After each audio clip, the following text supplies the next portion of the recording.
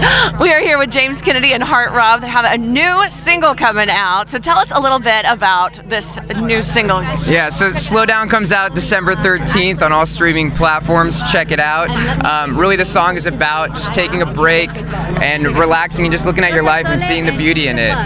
Yeah, I like that. I like that. It's got definitely, definitely different vibes to it for sure. Yeah. Um, but yeah, we wrote this um, last month. We got it done quick, um, following up our last single, "Can't Stop," and uh, we're really excited about this. We've been playing it all over North America, playing at all the biggest clubs over here. So it's just been an absolute great response in the crowd, and we thought we'd get it out to the public ASAP. One last drop for 2019. Yeah. So go go stream it everywhere it comes out December 13th. Make sure to follow Heartrob on Instagram and SoundCloud and all that fun stuff.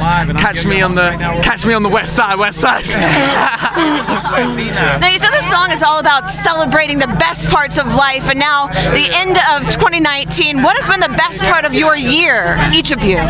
Making music. Making music. I mean, I feel like this year I've definitely broken out a lot more into the DJ world, and I've been playing bigger shows. Me and him just recently played in front of 6,000 people in Sacramento, and it was just Incredible. Yeah, it was a sober show Yeah. as well for me as well. So it was just Me like, well? yeah, for him as well. He's actually taking this sober train with Yeah, me. He's three months now, It's so- incredible. It's incredible what um, the power of music, you know, and uh, thinking with a clear head and really performing for these people. I really, I, it's just, a, it's just a whole new experience for me. So we played in Sacramento. We got to debut "Slow Down" and "Can't Stop." We got amazing crowd coverage on it. They were just vibing. So I'm really excited to get it out there.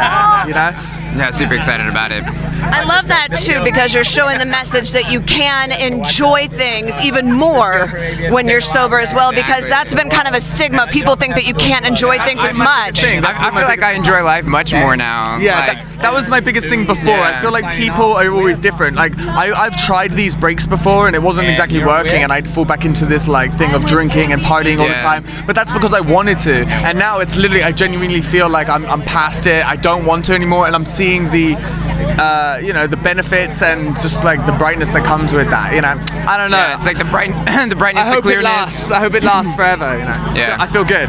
I do too, and I love that you're sharing that brightness with everyone else as well. So thank you guys Yeah, you're welcome. for all of the light that you're bringing to everybody. Have a phenomenal night. Yeah, you as Thank you, well. guys. Take care.